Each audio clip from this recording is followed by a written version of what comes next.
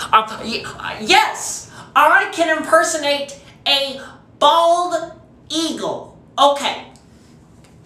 Eagles, bald eagles.